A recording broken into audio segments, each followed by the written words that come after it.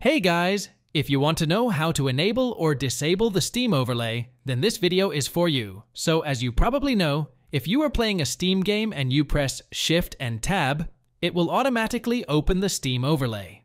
This can be annoying sometimes because you might open it by mistake while playing a game. This overlay is actually pretty useful. You have a lot of information, like the notes, a timer, the game overview, where you can see your playtime, the top guides, and the news of the game you are playing. And you can even enable more options like discussions, DLC, your friends, and more. So to disable the overlay, we will need to go to the settings, and here you will be able to disable the Steam overlay option. You can also change the overlay shortcut keys, so you don't open it unintentionally.